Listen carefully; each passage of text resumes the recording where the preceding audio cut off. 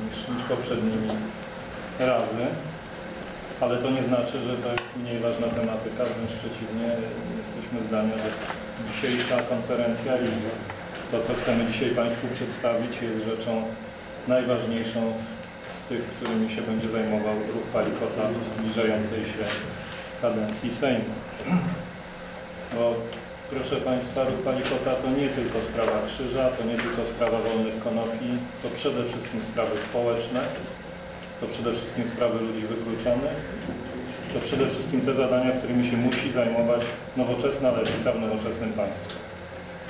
E, Zanim oddam głos Piotrowi Ikonowiczowi, który reprezentuje Kancelarię Sprawiedliwości Społecznej, jest naszym ekspertem w dziedzinie ludzi wykluczonych, a ma- malutkie wprowadzenie sobie pozwolę, kilka zdań dosłownie. Otóż yy, kilka dni temu doszło do pierwszej tragedii. Mamy już trzy osoby, które zamarzły w wyniku spadku temperatury w nocy. To są bezdomni. Tych bezdomnych będzie drastycznie przybywać, ponieważ Sejm poprzedniej kadencji dopu- dopuścił się do uchwalenia haniebnej zmiany w ustawie o prawie lokatorskim. Ta ustawa, a raczej ta poprawka pozwala wyrzucać ludzi na dróg. Ludzi mieszkających w prywatnych zasobach mieszkalnych. Czegoś takiego jeszcze w Polsce nie było. Za tą ustawą jedno, jednomyślnie głosowało PO, głosowało PSL i co jest najciekawsze, głosował Sojusz Lewicy Demokratycznej.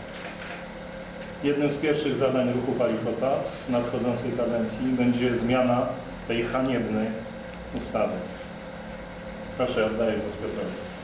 Ja reprezentuję Kancelarię Sprawiedliwości Społecznej. To jest stowarzyszenie, które mm, zajmuje się pomaganiem udzielanie bezpłatnej pomocy prawnej osobom zagrożonym wykluczeniem społecznym bądź takim wykluczeniem dotkniętym.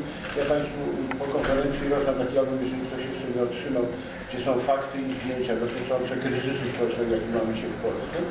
Według badań profesora Czaplińskiego za rok 2009, chodzi o y, diagnozę społeczną, 46% gospodarstw domowych w Polsce ma kłopoty z płaceniem czynszu. Więc nie jest to problem, który dotyczy jakiegoś marginesu polskiego społeczeństwa, dotyczy praktycznie co drugiej polskiej rodziny. Oczywiście większość rodzin płaci ten czynsz kosztem innych istotnych potrzeb życiowych, ale są tacy, którym nie wystarcza, bo po reprywatyzacji w Warszawie czy w Krakowie czynsze wyznaczone przez tych nowych właścicieli często przekraczają nieduże emerytury czy nieduże dochody gospodarstw domowych, więc jakby nie ma fizycznie możliwości, żeby ludzie tym czynszom sprostali. E, Trybunał Konstytucyjny zakwestionował przepis o pomieszczeniu tymczasowym, który był takim papierkiem, figo, liczkiem figowym, który miał ukryć fakt, że już istniała w Polsce eksmisja na. W tej chwili przepisy stanowią, że jeżeli przez 6 miesięcy osobie, której nie przysługuje w wyroku eksmisyjnym lokal socjalny, miasto nie da pomieszczenia tymczasowego, wówczas właściciel może po 6 miesiącach tę osobę wyeksmitować wprost do noclegowni, czyli na wróg. E, Ktoś, kto kiedyś był w noclegowni, choćby jako dziennikarz, bo nie przyszedł, że ktoś Państwa klientem, e, wie zapewne, że noclegownia to nie jest dach nad głową, ponieważ każdorazowo nocleg w noclegowni otrzymuje się na jedną dobę, na jedną noc właściwie.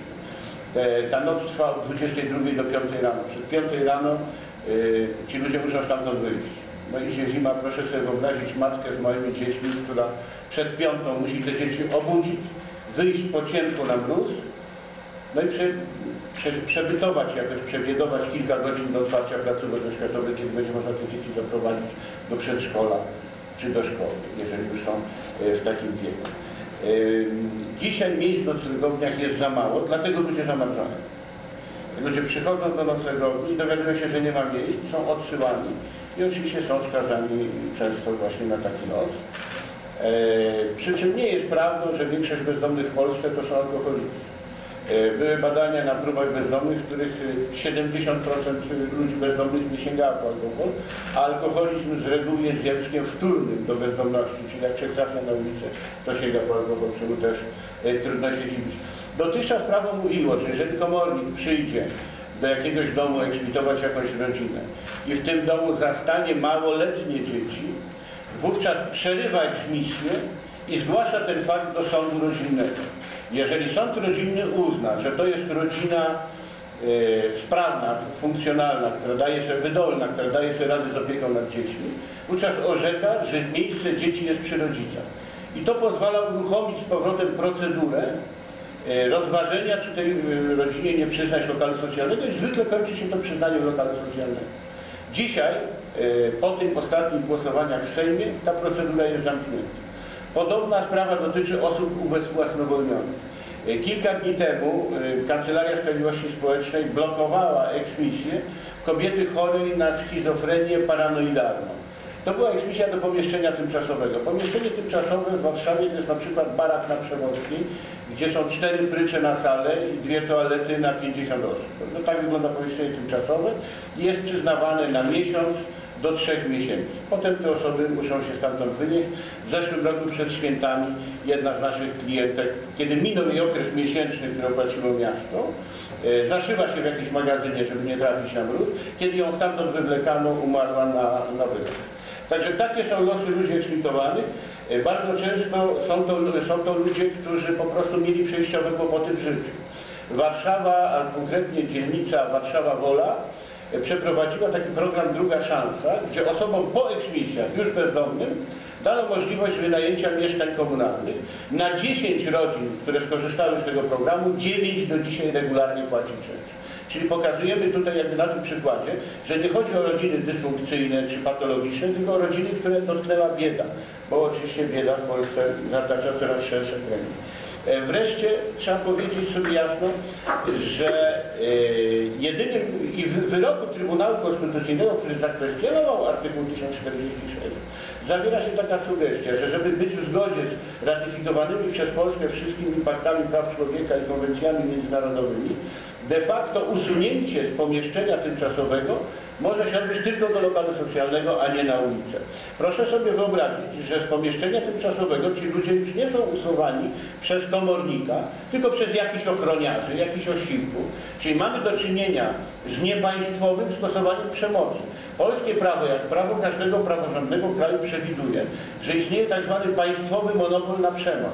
Czyli sytuacja, w której, no wiadomo, że jak nie ma gdzie pójść, to stawia opór, którego się wynosi czy wyprowadza z pomieszczenia tymczasowego na ulicę, jest sytuacją, w której dochodzi do aktu bezprawia, który jest wpisany w nowe, w nowe rozwiązania prawne.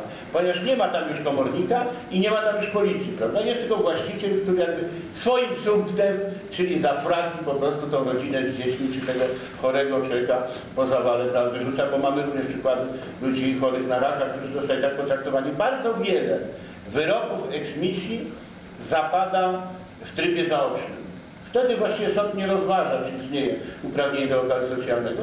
Dotyczy to bardzo często osób e, z problemami psychologicznymi. Jak wiemy, w Polsce chorobą społeczną w wyniku problemów finansowych e, i egzystencjalnych jest depresja. Wyobraźmy sobie osobę z depresją, która no, w depresji nie chodzi do sądu, dostaje eksmisję na bruk, mimo że jest to osoba z racji swojego stanu zdrowia, stanu majątkowego, której przysługuje uprawnienie do lokalu socjalnego, ale oczywiście takiego lokalu nie otrzyma, znajdzie się na ulicy i nie ma już tej drogi. Jednocześnie ja powiedzieć o jeszcze jednym przypadku. Otóż dotychczas było tak, że jeżeli przychodzi komornik do mieszkania i komornik ma wyeksmitować powiedzmy pana Kowalskiego, a wraz z nim przebywa inna osoba, która tam stale mieszka, wówczas przerywa czynność, tak było dotychczas, i zwraca się do sądu o dopozwanie tego kolejnego lokatora, żeby sąd miał szansę ustalić, czy ten drugi lokator, którego na eksmisji zostaje komornik, ma uprawnienie do lokalu socjalnego, czy jest chory, czy jest niepełnosprawny itd., e, czy jest bezrobotny. W tym momencie ten przepis skasowano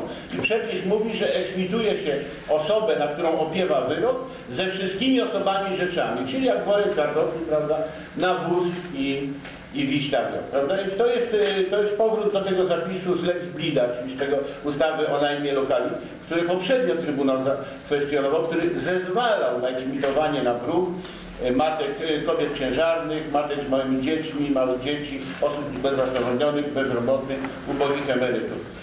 Trybunał Konstytucyjny już dawno temu, bo w 2001 roku, stwierdził, że tamte przepisy były niezgodne z, y, z artykułem 30 Konstytucji, który należy stosować wprost, bo tam nie ma żadnej delegacji ustawowej, y, czyli że jest niezgodny z godnością człowieka, z przyrodzoną godnością człowieka. Y, Kancelaria Sprawiedliwości Społecznej zwróciła się do prezydenta Rzeczpospolitej Polskiej z apelem o niepodpisywanie y, tej ustawy. Niestety zaraz po wyborach prezydent tą ustawę wstrzymał się tylko do wyborów, niestety i to jest wiele mówiące, podpisał tę ustawę. W najbliższy piątek e, przedstawiciele kancelarii, w tym mówiący te słowa, spotka się z ministrem e, e, kancelarii prezydenta, panem ministrem Ciekońskim i będziemy namawiali po pierwsze prezydenta RP do tego, żeby e, wysłał tą e, bardzo złą nowelizację do Trybunału Konstytucyjnego, bo jesteśmy głęboko przekonani, mamy na to odpowiednie ekspertyzy, że ta nowelizacja jest niekonstytucyjna, że uwzględnia tylko interesy właścicieli, a nie uwzględnia interesów najemców, czyli łamie tą zasadę równości wobec prawa, która jest podstawą demokratycznego państwa prawa, kierującego się zasadą sprawiedliwości społecznej, artykuł 2 Konstytucji, nie sekund, tylko drugi, z jakiegoś powodu ten artykuł jest drugi i to y, artykuł o godności, artykuł 30. Również będziemy namawiać pana prezydenta na inicjatywę ustawodawczą. Jednocześnie chciałbym podziękować panu Januszowi Panikotowi i ruchowi e, poparcia Panikota, że e, zdecydował się również e, wyjść z inicjatywą poselską w tym zakresie. My, ponieważ na co dzień, dzisiaj idę tutaj prosto z sądu, tutaj na Marszałkowskiej Śródmieściu. E, Reprezentujemy lokatorów, e, negocjujemy z właścicielami, z miastem, prawda, ich uprawnienia i tak dalej. Jakby my wiemy dokładnie, gdzie są błędy, bo my to robimy jako prawnicy na co dzień i e, myślę, że zdołamy tak skonstruować te przepisy w tej nowelizacji poselskiej, czy prezydenckiej, czy jednej drugiej, zobaczymy, żeby, żeby nie było w Polsce eksmisji na bruk, bo to jest istotne. Ja chcę powiedzieć o jednej bardzo ważnej rzeczy, bo bardzo wiele osób powiada, że to będzie dużo kosztować. Otóż w Polsce takich wyroków wy- wykonuje tysiące. Tysiące, nie dziesiątki tysięcy. Oczywiście być może ta liczba się zwiększy w miarę jak ubożeje nasze społeczeństwo, ale dzisiaj są to tysiące. Otóż nie są to takie pieniądze, na które naszego budżetu nie stać. Czyli jakby nie ma też uzasadnienia ekonomicznego, żeby dzieci, żeby ludzie starzy, bezwłasnowolnieni, chorzy, e, często umierający, mieli zdychać pod płotem, że tak powiem. To jest e, tylko bezmyślne okrucieństwo ustawodawcy, który jakby no, chyba bez świadomości i bez sumienia podejmował takie decyzje pod presją właścicieli. Musi się skończyć sytuacja, w której parlament reprezentuje wyłącznie właścicieli, a nigdy pracowników, nigdy najemców, nigdy tej większości zwykłych szarych obywateli. Wreszcie chciałbym powiedzieć na koniec o takim e, szczegółowym przepisie, bo on dotyczy bardzo szczególnej sytuacji. Otóż jak Państwo wiecie i w programach rządowych i we wszystkich e, enuncjacjach publicystycznych i politycznych słychać, że najlepszą i właściwie słuszną drogą do osiągnięcia dachu nad głową jest zaciągnięcie kredytu hipotecznego, czy w ogóle jakiegoś kredytu i wykupienie, wykupienie mieszkania. Tymczasem jest to droga niezwykle niebezpieczna, albowiem bardzo wiele osób zadłużonych również z innych tytułów, ma licytowane mieszkania. I ci ludzie trafiają na drogę. Dotychczas było tak, że e, poza właścicielem e, jego rodzina, która z nim zamieszkiwała, miała uprawnienie do lokalu socjalnego. W tej chwili już tak nie jest. Po tej nowelizacji wszyscy razem z właścicielem trafiają na bruk.